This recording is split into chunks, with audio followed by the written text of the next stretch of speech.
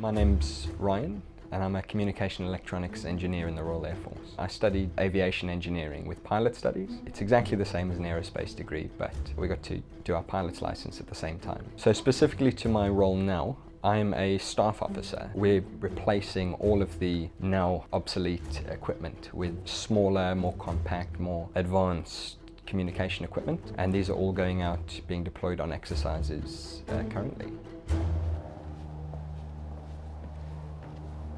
RAF High Wycombe is quite different to most stations because this is where all the decisions in the Air Force are made. There you're experiencing a lot of the big decision makers, so you can see how they work, what they do, what their kind of goals are and how they achieve them. Common misconceptions that I initially had about, well, the military as a whole were that everything's going to be very regimented, you're going to be told where you're going, what you're going to be doing, you've got to cut your hair short. But then as soon as I joined up, all of these myths started to dissipate very quickly. The lack of flexibility as well is one of those things that I was, I was quite worried about initially. Like I'd miss Christmas, I'd miss birthdays. In reality, it's, it's so easy. If I, if I ever want to go somewhere for something, I just speak to my boss and then put my dates in my calendar. He hasn't not approved one yet.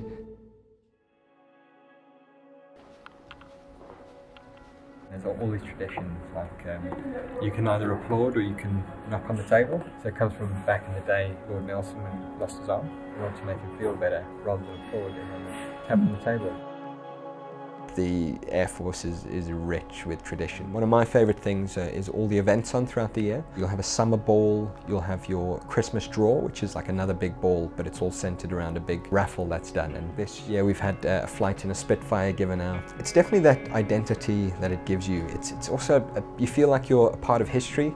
It's amazing and I really, really love it.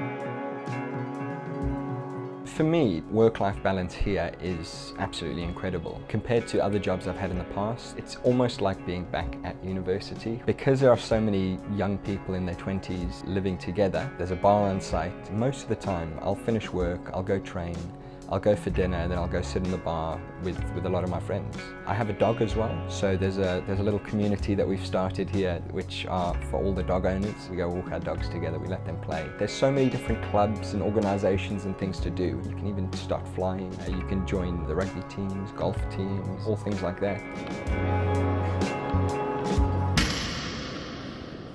The things I know now compared to what I didn't know before when it comes to starting the RAF, well, there's, there's actually an awful lot. When it comes to uh, flexibility, I, I, can talk to my career manager, I can explain to them where I want to push my career. One of the big fields opening up now is, is in cyber. There are plenty of roles available in there. And if I wanted to, I can speak to my boss and say, look, this is, this is the way I want to push my career. And they generally would really help you do that. Because if you're happy, you're going to be motivated, you're going to stay around longer, and you're going to have a motivated, happy workforce. So generally, everyone works for each other. Everyone wants everyone to, to be happy and to perform the best they can.